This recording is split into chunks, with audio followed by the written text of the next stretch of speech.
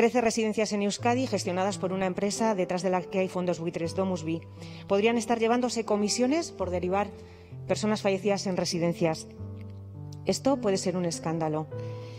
No se cuida la vida, sino que se gestiona gerencialmente la vejez. Es sencillo, negocio con la vida, especulación con la muerte. La dependencia es el nuevo nicho de mercado, eh, así que se compran locales, se dan fondos buitre y a facturar. Eusko Jaurlaritzak ez ditu kudeatzen, ezta ere zure galderan aipatzen dituzun hileta zerbitzuak. El gobierno vasco tiene un- una figura que se llama la alta inspección, que es la encargada de velar porque las administraciones cumplan su papel. Baina arazoa eredua da.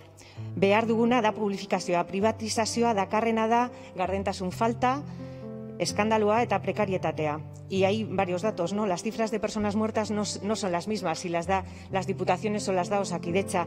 Los resultados de las encuestas de satisfacción no son lo mismo si las hacen las asociaciones de familias o si las hacen las diputaciones. Las trabajadoras llevan años denunciando la precariedad de sus- condiciones. Las asociaciones de familiares como Babestu, Guipúzcoa Senideak o incluso el movimiento de pensionistas llevan pidiendo tiempo que se les atiendan y que, y que se atiendan sus demandas y no se les atiende. Las mociones y propuestas que presentamos desde nuestro grupo en juntas generales y aquí mismo son rechazadas una y otra vez y vienen con propuestas muy concretas. La gestión de las residencias por las diputaciones, tres modelos distintos, tres disparidades de criterios, desconfianza y el liderazgo del del gobierno vasco en toda esta situación ausente. Begira. ¿Quién cuida?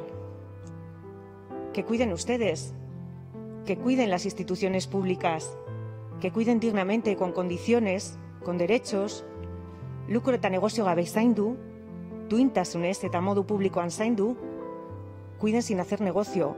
Cuidar es también política.